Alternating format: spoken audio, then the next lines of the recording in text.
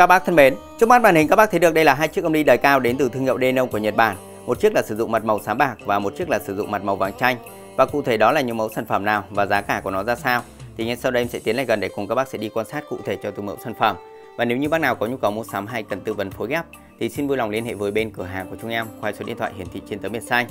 Và trước tiên thì em cùng các bác sẽ đi quan sát về chiếc âm ly ở phía ngoài cùng bên tay trái trước. Các bác thấy đây là dòng âm ly sử dụng mặt màu xám bạc được thiết kế rất là thời trang, đẹp mắt.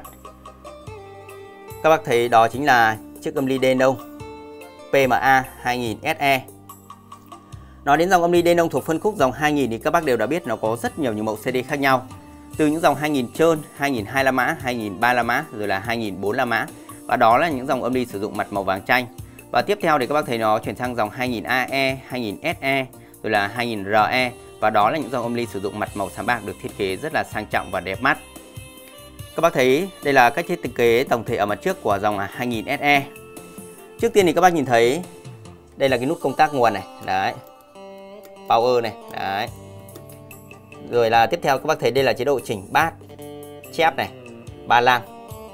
Các bác các bạn trên cái nút của nó rất là sướng tay. Đấy, các bác bạn thấy nó rất là lì tay, rất là chắc. Đây là nút eject. Và ở chính giữa thì nó trang bị cho chúng ta một cái núm volume rất là to. Đấy, các bác thấy đây, volume của nó vặn thì rất là trơn tru rồi. Và đây là nút power amp eject các bác đã thấy đây là chiếc âm ly vừa có khả năng làm power và vừa có khả năng làm dề. Tiếp theo thì các bác thấy Z out selector, bên này là input selector, tức là chọn các đường kết nối tín hiệu đi vào. Đây là dòng âm ly đài cao thì các bác thấy nó sử dụng công nghệ ultra và sử dụng sò MOSFET. Đối với chiếc âm ly này thì nó sử dụng 4 sò MOSFET, một trong số những dòng sò cao cấp chịu nhiệt rất là cao. Và một cái ưu điểm nữa thì đây là dòng âm ly nó sử dụng hai tăng phô nguồn được bố trí nằm ở chính giữa, mỗi một tăng phô phụ trách cho một vế và chống nhiễu rất là tốt làm cho cái chất lượng âm thanh của nó rất là hay.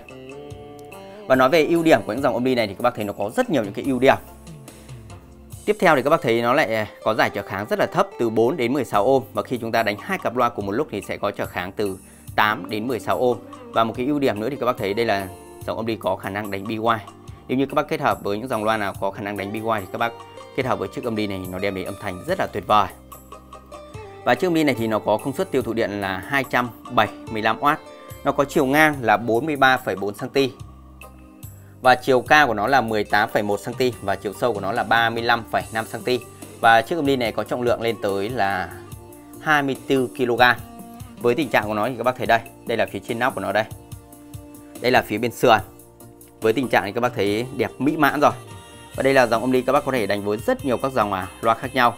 Những dòng loa của Tannoy này, BV Kép này, JBL này, rồi là những dòng loa Bose, Vega, Infinity, Onkyo, Kenwood rồi là những dòng Ramo này vân vân. Các bác đánh những dòng âm ly đời cao như thế này đem đến âm thanh rất là trong sáng chi tiết. Và các bác thấy thì những dòng 2000 trơn, 2002 la mã, 2003 la mã, 2004 la mã rồi là những dòng 2000 AE thì các bác thấy đó là những dòng âm ly nó chưa trang bị cho chúng ta sử dụng điều khiển từ xa. Tuy nhiên sang đến dòng 2000 SE thì các bác thấy nó trang bị cho chúng ta một cái điều khiển từ xa. Chỉ cần chúng ta cầm điều khiển từ xa như thế này chúng ta có thể điều chỉnh trên à, chiếc âm ly này rất là thuận tiện cho các bác trong việc sử dụng. Đấy, các bác thấy một cái sự cải tiến rất là lớn sang cái dòng 2000 SE này. Về phần âm sắc cũng như là về phần à, điều khiển từ xa thì các bác thấy rất là tuyệt vời rồi. Và chiếc âm ly với tình trạng thì các bác thấy miễn chê, đẹp, không tì vết như thế này, không một vết chảy xước nào. Đấy. Và chiếc âm ly này thì có mức giá là 25 triệu đồng. Nó rất là nặng các bác nhá. Và tiếp theo ở phía bên này thì các bác nhìn thấy đây là một chiếc âm ly thì các bác thấy rất là khủng rồi. Đó là dòng ờ, âm ly Denon PMA S10 ba la mã. Nói đến dòng âm ly thuộc phân khúc dòng S thì các bác thấy nó có dòng S10 trơn, S10 2 la mã, rồi là S10 3 la mã và cuối cùng là dòng S10 3 la mã limited. Đây là những dòng âm ly thì các bác thấy nó có một số cái cải tiến nó khác. Đấy, tức là nó thiết kế khác so với những dòng 2000 SE. Thứ nhất thì các bác thấy nói về cái màu sắc đúng không ạ? Đấy, nó sử dụng mặt màu vàng chanh rồi. Và đây là chiếc âm ly có trọng lượng rất là nặng, nó có trọng lượng lên tới là 28 kg. Về cách thiết kế thì các bác thấy tổng thể mặt trước nó sử dụng mặt màu vàng chanh và nó được bo bốn góc nhìn rất là đẹp. Các bác nhìn thấy đây là nút ờ, power, nút nguồn này, đấy, nút phone, chế độ chỉnh bass này. Với những dòng cao cấp như thế này các bác ờ, sử dụng những cái núm volume của nó điều chỉnh bass chép, ba lang như thế này thì rất là mượt rồi. Đấy, các bác các bạn nó rất là lì, rất là chắc tay. Đây là nút đi. Về tổng thể thì các bác thấy cái thiết kế chỉnh bát chép ba lang này, đi rách thì các bác thấy ở vế bên tay trái thì nó giống với dòng 2000 SE và volume của nó cũng được bố trí nằm ở chính giữa như thế này. Và các bác nhìn thấy những cái núm volume của nó này được bố trí những cái tia như thế này các bác nhìn thấy cái độ đẹp độ nét của nó rồi. Đấy. Vặn rất là lì tay rất là chắc. Bên này các bác thấy Z out selector và input selector. Như vậy thì các bác thấy đối dòng à, S13 La Mã thì nó không có nút power arm reject tức là dòng này thì các bác thấy nó không trang bị cho chúng ta cổng làm bao và cổng làm rể đấy, các bác thấy rất là cụ thể.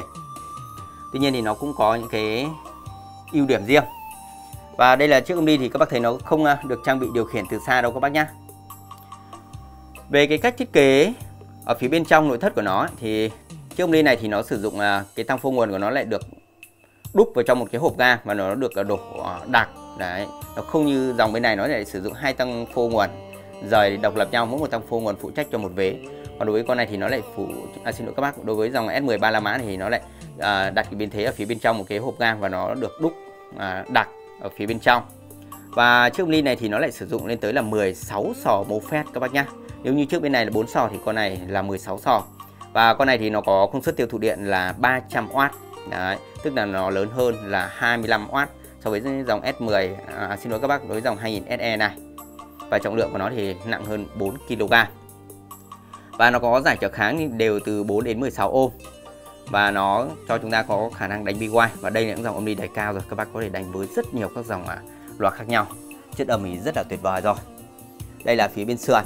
Các bác thấy dây nguồn của nó này đây là dây nguồn của dòng S10 à, ba la mạ các bác nhá. Đấy, dây nguồn của nó được bố trí mạ vàng này. Đấy dây của nó thì rất là đẳng cấp rồi.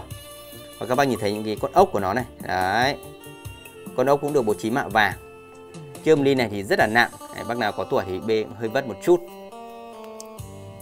và chiếc ly này thì nó cũng có chiều ngang là 43,4 cm và chiều cao của nó là 18,1 cm và chiều sâu của nó là 48,5 cm. Đây là phía sau, các bác thấy các cọc à, nhận tín hiệu đi vào cũng là cọc à, đưa tín hiệu từ âm ly đi ra loa các bác thấy nó cũng vẫn còn vàng ươm, còn rất là đẹp. Bên kia là phía sau của dòng là 2000 SE. Đây là những dòng âm ly đời cao rồi, nó đem đến âm thanh rất là hay, được các kỹ sư của hãng Denon thiết kế rất là trau chuốt tỉ mỉ về phần âm sắc cho nên thì đây là những chiếc âm ly thì các bác thấy rất là nên chơi và đáng chơi. Các bác dễ dàng phối ghép thành công với rất nhiều các dòng à, loa khác nhau những dòng loa Nhật, loa Mỹ, loa Âu đánh rất là tuyệt vời rồi. Đặc biệt là về cái độ bền của nó các bác nhá các bác sử dụng những chiếc âm ly đời cao như thế này thì các bác sử dụng rất là bền các bác ít khi nó gặp sự cố lắm. Đấy.